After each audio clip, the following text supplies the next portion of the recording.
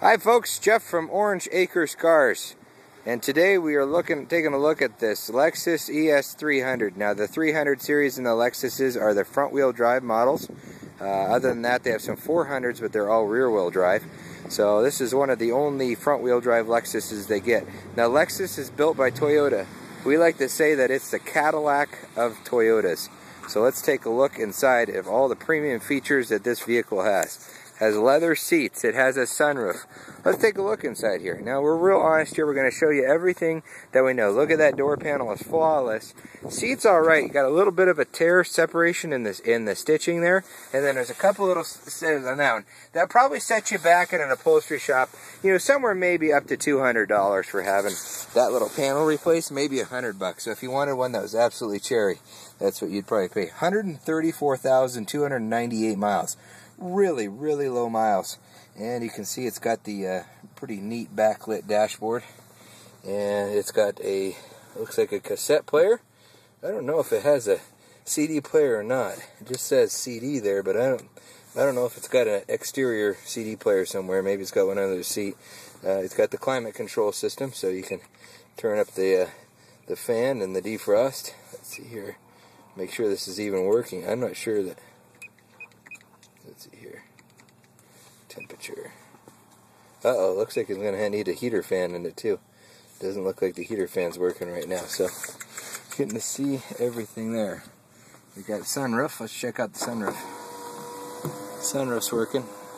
Hey, a little bit of blue sky on a Montana day.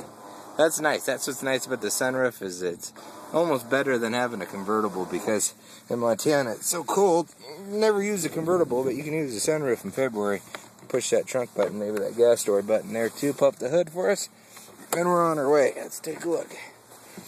Oh, did you see the tires on this thing? Look at these Firestone tires. These things are almost like brand new on the back, and then on the front it's got Michelin tires.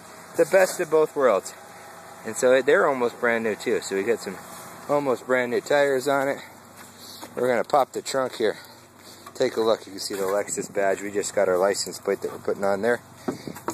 Shiny Lexus emblems on there. You want to hit that door button? See it says trunk there? I don't know. Maybe it's inoperative. We'll need to get out the key and unlock that too. But we'll take a look at the engine. Henry will take the key out and we'll use the key to get to the trunk. I'm not sure if the button is not functioning or not. Maybe we could look at it. And there you go.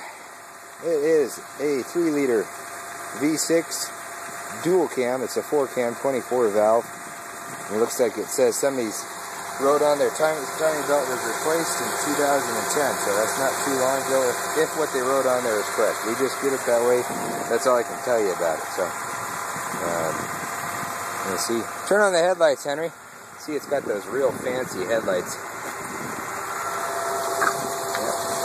Not your standard headlights, it's got the fancy headlights. Go ahead and shut it off. Let's see if we got a, if the will open the trunk there, see if there's any dead bodies in the back. We'll even look for blood stains. Who knows? The gas door button works. It's right next to it. And there's your little trunk. Yep, it does have. It has the Lexus CD player in the back here, so I don't know if it still works or not, or if it still needs, the, if it has the cartridge still. Sometimes they they have a disc changer and the cartridge goes out. But hey, you know, go to Best Buy, buy yourself a stereo for 200 bucks. You know, probably gonna get one that's a lot nicer. Get one that you can put your iPod uh, iPod too. There you go, or your XM radio. I like that. Sirius on that hits one and 70s on seven. They're all good stations on there. So anyway, you want to come check this one out. Oh, I hope I didn't have my finger in front of the camera too long. if you want to come check this one out, check out our uh, Orange MT for all our other cars. We're at mile marker 13 on Highway 93 North, 13 miles north of I-90, about 18 miles from the tip of Reserve Street, about 5 miles south of Arlee. So pretty close to Missoula if you're coming from a long ways away. And uh, come check it out. Uh, you can give me a call, 370-5466, if you want to take a look at this vehicle.